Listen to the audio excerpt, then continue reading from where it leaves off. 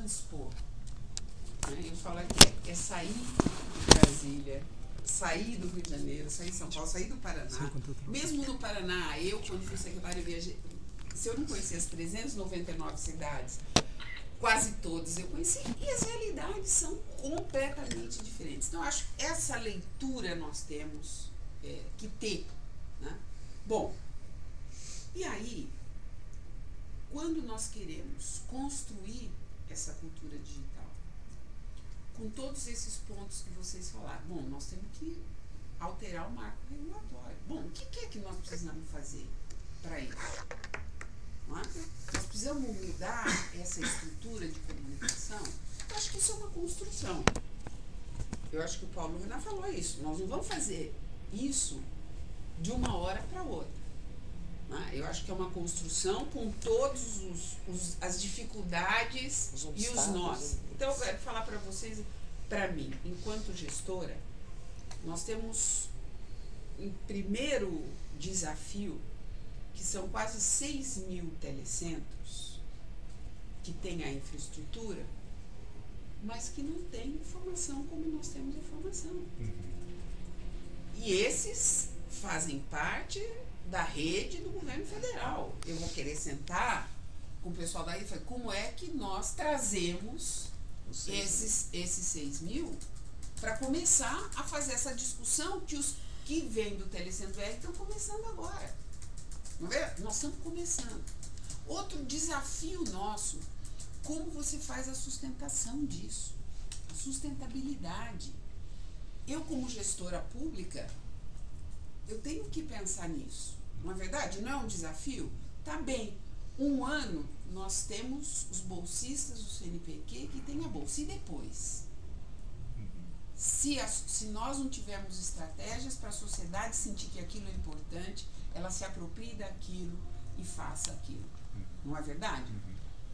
Então eu estou falando que, a, que as responsabilidades que nós temos são essas agora avançar no que for possível, eu estou absolutamente aberto. E a hora que o Paulo, ó oh, Paulo, não vai dar para mudar toda a rede antes de eu pedir para vocês assim.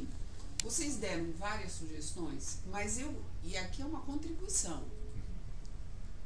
Olha, a proposta é essa. Como é que a gente muda esse marco? A nossa proposta é essa, essa, essa. Como que eu faço isso? É isso, isso, isso. Porque em muitas áreas vocês têm muito mais acúmulo que eu não é? E eu quero continuar esse diálogo, muito francamente. E as coisas que der para a gente avançar, nós vamos avançar, e as outras que não der, olha, gente, a gente consegue ir até aqui. Né? Mas eu acho que, da maneira como nós estamos e como o Ministério das Comunicações hoje há um entendimento no governo que é um ministério estratégico para o Brasil, né? nós vamos avançar. Acho que você falou do PNBL. Não é à toa que nós estamos fazendo essa discussão com a Telebrás. Sexta-feira eu vou lá, nós vamos discutir junto. Não é? Para a gente trabalhar junto, porque senão não tem a lógica de ser. É? De que eu tenho um programa nacional de banda larga e nós vamos para o outro. O Eliomar é, é, tem a, a, equipe aí que ele coordena, é a responsável pelo GESAC. Tem uma demanda imensa da juventude da zona rural que quer entrar nesse mundo. E outro dia eu estava tendo reunião com, com a, a juventude né, da federação. Pô, mas nós não conseguimos falar no telefone. Não é? Então, que estratégia nós vamos fazer? Nós temos 62 mil escolas na zona rural que não tem conexão. Então, nós estamos discutindo: será que a gente pode pegar esses pontos do GESAC e colocando para a zona rural e aproveitando a ligação do PNBL para ficar para a cidade. Estou falando aqui coisas para vocês que estão em construção e que nós estamos pensando com absoluta honestidade. Né?